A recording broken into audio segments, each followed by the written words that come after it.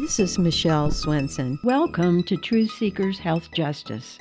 Today, looking at efforts to heavily market private Medicare Advantage plans and the schemes used to maximize shareholder and CEO profits that compromise enrollees' healthcare access. We will hear from an insurance broker and a former insurance executive whistleblower about how billions of dollars in annual overpayments to Medicare Advantage drain the Medicare Trust Fund, thus compromising traditional Medicare.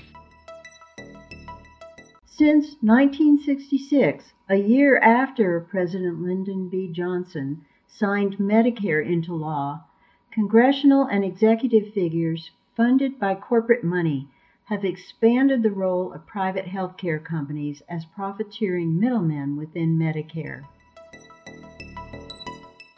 Medicare privatization was boosted by the George W. Bush administration's 2003 passage of the Medicare Modernization Act. The 2003 law instituted an alternative payment structure as means to funnel more money toward expansion of private insurance plans marketed as Medicare Advantage plans. Estimates of annual government overpayments to Medicare Advantage were reported to range from 12 billion to $25 billion.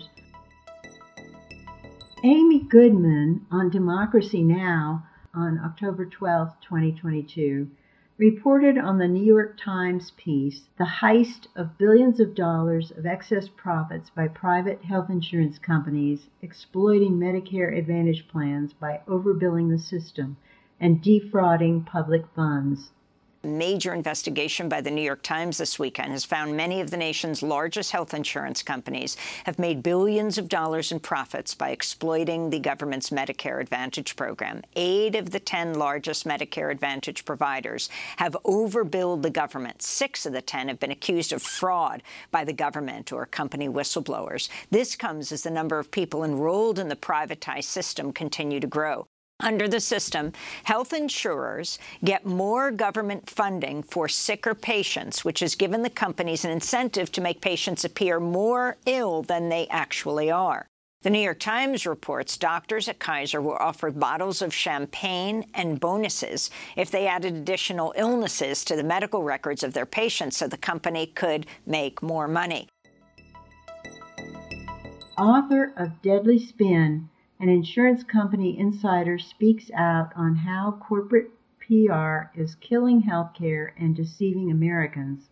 Wendell Potter relates how CMS has turned a blind eye to regulating the insurance industry, permitting lobbyist influence to prioritize profits over healthcare. Noting that Medicare Advantage is an enormous cash cow for insurance companies, Potter cites Medicare Advantage as a prime reason for record commercial insurance profits during the pandemic. It's important to note that it is neither Medicare nor is it an advantage. It is, I think, will be recognized in years to come as probably the biggest heist, the biggest fraud, the biggest transfer of wealth from taxpayers, middle income, low income Americans to corporate executives and shareholders.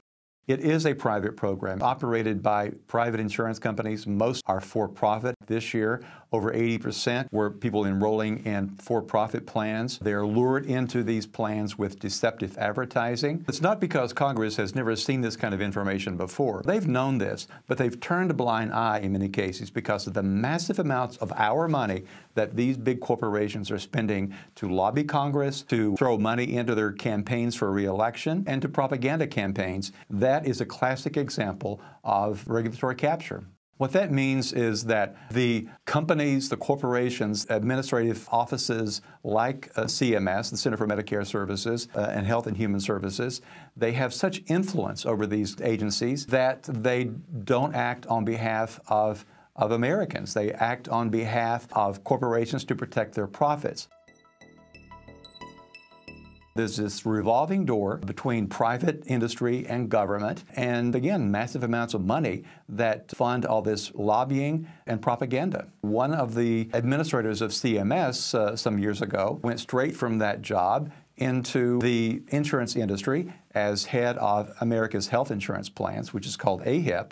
Potter observes that many legislators and appointees move through the Washington revolving door, alternating between positions as industry lobbyists and government policymakers. Liz Fowler is just one who has traveled through Washington's revolving door, moving from an executive position with WellPoint Health Insurance to a position in the Obama administration where she helped write the Affordable Care Act. Within the ACA law, Fowler helped draft the CMMI program, ultimately responsible for the Trump administration direct contracting entities and the Biden administration's ACO REACH program, both designed to privatize all of Medicare moving seniors on traditional Medicare without their consent to privatized insurance plans. Fowler's subsequent positions have included vice president for pharmaceutical giant Johnson & Johnson and returned to government as Biden administration overseer of the CMMI Medicare program that she helped create. Christopher Westfall has been an independent health insurance broker for 26 years, working principally with traditional Medicare and Medicare Advantage plans. In his informative YouTube videos, he reports closely tracking studies of Medicare and Medicare Advantage plans. An informational link on Westfall's website, seniorsavingsnetwork.org is titled allaboutmedicareadvantage.com. He notes that brokers are incentivized to sell Medicare Advantage plans, which pay twice the commission that sales of traditional Medicare supplement plans pay. Too often, Westfall observes, brokers provide false information about Medicare Advantage plans. Individuals discover after purchasing a Medicare Advantage plan that their doctor is not in the network. If they continue to see their own doctor, they are responsible to pay out of pocket, out of network costs. Here's the problem. The federal government pays Medicare Advantage plans a monthly amount for each enrollee regardless of how much care that person needs. They're getting paid anyway. This raises the potential, this is quote, the potential incentive for insurers to deny access to services and payment in an attempt to increase profits. That's according to the April analysis by the Department of Health and Human Services Inspector General. It's the profit motive. The health plan gets to decide. And the least they pay for you, the difference is that's their profit. And that's why the Office of Inspector General said that is the sole incentive of Medicare Advantage plans. Investigators found that nursing home coverage was among the most frequently denied services by the private plans and often would have been covered if under traditional Medicare. This is from Kaiser Health News. The article says nursing home surprise. Advantage plans may shorten stays to less time than Medicare covers. After 11 days, this is the story here. After 11 days in a St. Paul, Minnesota skilled nursing facility, recuperating from a fall where she broke her hip, Paula, 97 years old, was told by an insurer that she should return home. The facility gave her a choice pay several thousand dollars to stay in this rehab that she needed, appeal the company's decision, or just go home. Healthcare providers, nursing home representatives, and advocates for residents say Medicare Advantage plans are increasingly ending members' coverage for nursing home and rehab services before patients are healthy enough to go home. Eric Krupa, an attorney at the Center for Medicare Advocacy, a nonprofit law group that advises beneficiaries, said in traditional Medicare, the medical professionals at the facility decide when someone is safe to go home. In Medicare Advantage, the plan decides. Not uncommonly, Medicare Advantage plans stack the deck by cherry picking, that is, manipulating the system to sign up healthier people. They also practice lemon dropping, a form of manipulation that leads to elimination of sicker or chronically ill patients from coverage. This is a story by Cheryl Clark from MedPage Today online. Medicare Advantage plans have been under increasing scrutiny and investigation because so many of them have been accused by federal agencies of denying care, exaggerating the severity of illnesses to pull billions more from Medicare, and delaying care with lengthy prior authorization requirements. Surveys of physicians have consistently found that excessive authorization controls required by health insurers, Medicare Advantage, are persistently responsible for serious harm when necessary medical care is delayed, denied, or disrupted. The Medicare Advantage appeals process for denied care is lengthy. Reportedly, 78% of Medicare Advantage healthcare denials were reversed in one year, strongly indicating a high rate of wrongful denial of care.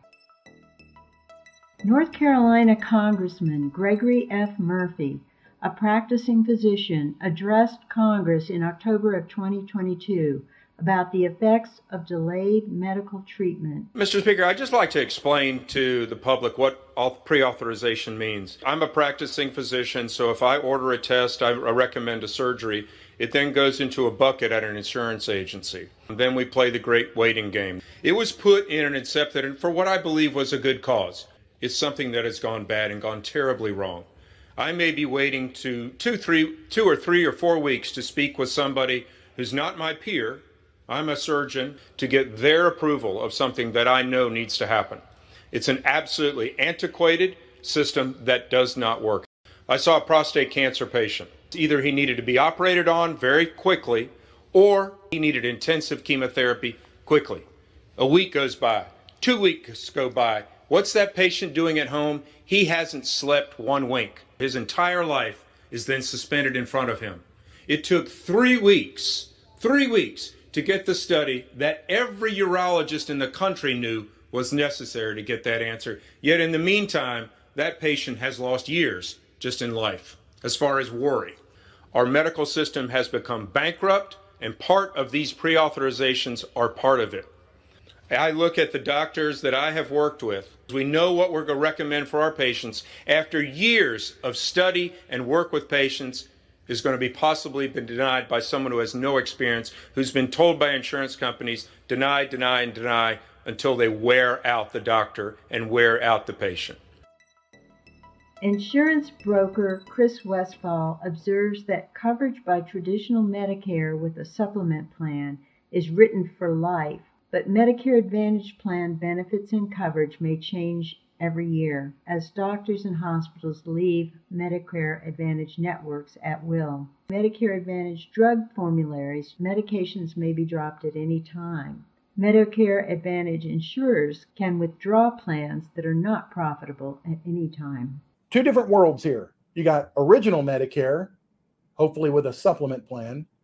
Go anywhere you want to, get all the care that's medically necessary without any prior authorizations or pre approvals. The Mayo Clinic last week sent out a letter. Mayo warns it won't take most Medicare Advantage plans. Letter sent to Florida and Arizona patients suggests they should enroll in original Medicare as well as Medicare supplements. Stat News reported this month that artificial intelligence is driving denials by Medicare Advantage to new heights. A recent investigation has revealed that Medicare Advantage insurers are now using unregulated predictive algorithms of artificial intelligence under the guise of scientific rigor as excuse to determine when to terminate payments for patient treatments, often prematurely terminating treatment for vulnerable seniors. In a YouTube video, insurance broker Christopher Westfall covers the Senate report released November 3, 2022, titled Deceptive Marketing Practice Flourish in Medicare Advantage. The Senate Finance Committee, chaired by Senator Ron Wyden, released a report confirming deceptive marketing practices by Medicare Advantage plans. The report revealed that enrollees' complaints increased significantly from 2020 to 2021. Wyden called it unacceptable for this magnitude of fraudsters and scam artists to be running amok in Medicare. The report called for ensuring adequate oversight of commercial health plans. Rather than use Medicare Trust Fund money to expand and improve traditional Medicare to cover all U.S. residents, as a Congressional Budget Office study confirms is doable. Moneyed insurance industry interests influence legislators on both sides of the aisle who are showered with copious private health insurance campaign contributions.